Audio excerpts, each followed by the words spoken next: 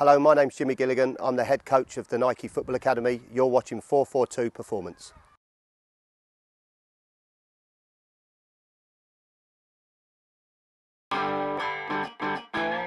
Basically the setup for the four-way finish is four players on each corner of the 18-yard box with a number of balls. And you need a striker in a five-yard by five-yard box outside of the penalty spot. The idea of the session is that player one, two, three and four around the outside will serve balls into the striker at a given command or in rotation when the coach says so. The session is designed for the striker to get a quick touch, either one touch or two touch finish in and around the box. When you look at the likes of Wayne Rooney and Fernando Torres, a lot of their goals are done instinctively in and around the box in match play.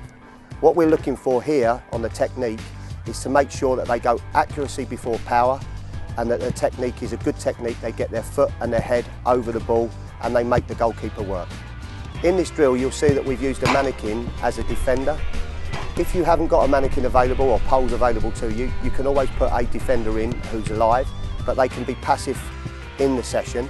But what you can do is actually work up to the session and it can come, become a very high pressured shooting drill with the defender trying to stop the centre forward or the striker scoring.